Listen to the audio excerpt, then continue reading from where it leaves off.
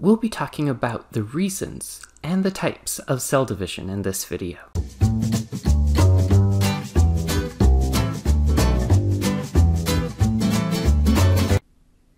The cell cycle is made up of interphase and cell division.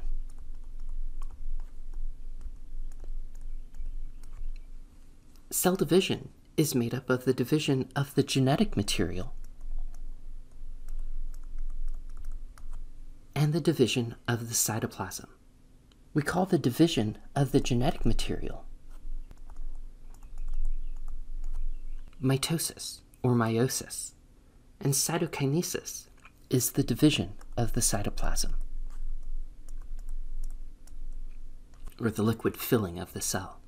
And usually this occurs simultaneously with the last stage of the dividing of the genetic material. So let's talk about cell division. The purpose of mitosis. Mitosis is the form of cell division that is used for growth and repair and renewal of tissues and structures. You are larger now than you were when you were a baby because of this form of cell division. You also have more cells now than when you were a baby.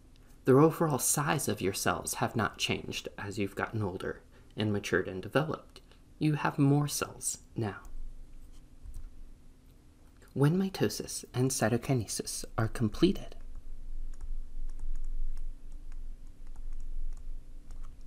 the result is two cells which are genetically identical to each other. Each of these cells may then go on through the cell cycle on their own and divide. This type of cell division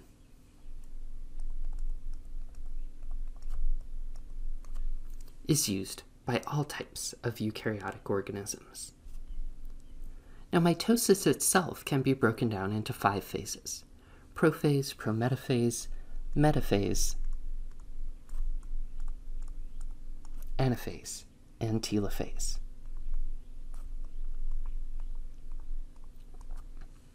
Now, you will not be expected to memorize the different phases and what they mean, but you will have the opportunity to see some of these different phases in the virtual microscope lab activity that we'll be doing this week.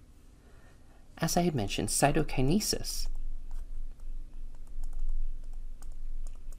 It's the division of the cytoplasm. It happens around the same time as telophase, but cytokinesis is not one of the phases of mitosis. Mitosis is the division of the genetic material. Cytokinesis is the division of the rest of the contents of the cell. Now, the purpose of these phases of this cell division is to take those duplicated chromosomes that were made during the S phase of interphase in the nucleus of the parent cell and to divide them evenly between the nuclei of the two new daughter cells. Each duplicated chromosome is divided evenly so that each cell gets a full set of the same information. Now, this is one of my favorite videos. It's actually a, a, video taken through a microscope of an animal cell going through the stages of mitosis. We see the nucleus in the middle, as the nuclear envelope breaks down, the chromosomes condense. We can see all of these different structures. Those are the duplicated chromosomes that still need to be separated.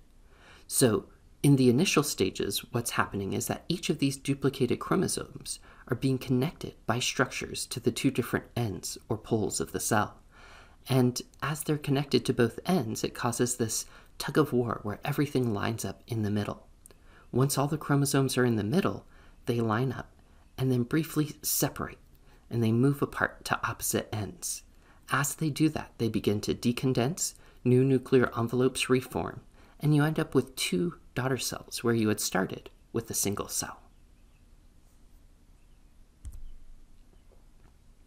Now, there is a second form of cell division that's different than mitosis. Mitosis makes two daughter cells that are exactly the same as the parents. Meiosis makes gametes that have half the number of chromosomes as the original cell. meiosis is specifically used to make gametes, or sex cells, sperm and egg. In gametes, the chromosome number is halved. We use the term haploid to show that these cells have only one chromosome of each type, instead of being diploid, meaning having two chromosomes of each type. So most of our body cells are diploid, but the cells that undergo meiosis, the, they result in cells that are haploid. Again, meiosis is only used to make the sex cells. It's not for growth, it's not for repair, it's not for tissue regeneration, it's only for making the sex cells. And so, meiosis only occurs in the gonads. That's the only structure in humans where meiosis occurs. When two haploid gametes fuse, a zygote is formed. And a zygote is diploid after fertilization. So a zygote is a fertilized egg. It's the result of a sperm and egg fusing together. The sperm and the egg are both haploid on their own, but when they combine together, the resulting cell is diploid because it will have two of each type of chromosome. In humans, this will typically be 46 chromosomes, 23 from the sperm, 23 from the egg. That zygote is genetically different.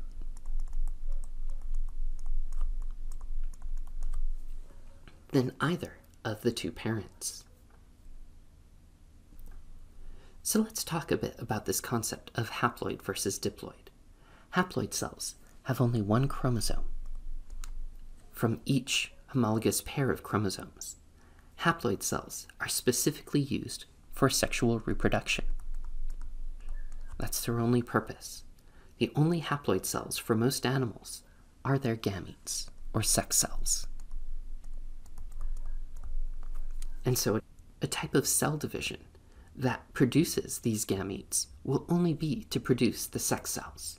The only way for haploid cells to be produced is through this specific type of cell division called meiosis. Meiosis is only used to make the gametes. All of the other cell division in the body is through mitosis.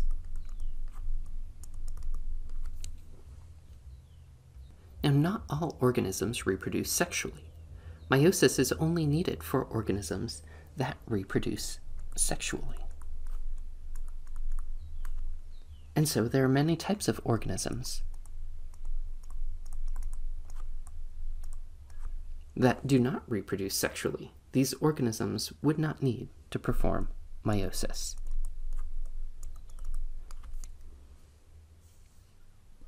When we look at comparing mitosis and meiosis, they both start with interphase. Meiosis actually has two rounds of division First, the homologous chromosomes are separated from each other in meiosis 1, then the sister chromatids are separated from each other in meiosis 2. For mitosis, it's only those sister chromatids that are separated through the regular stages of division. Mitosis is considered to be the general form of cell division, and most cells in an organism's body are able to perform mitosis. The only cells that perform meiosis are found in the gonads. And only those cells that are destined be to become gametes. Now, the result of our cell division from fertilization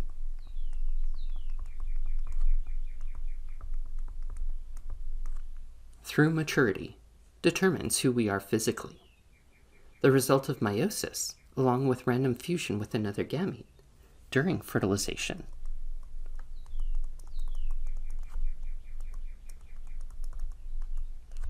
Determines who our offspring will be genetically. Cancer and errors during cell division are what we'll discuss in our last video for this module.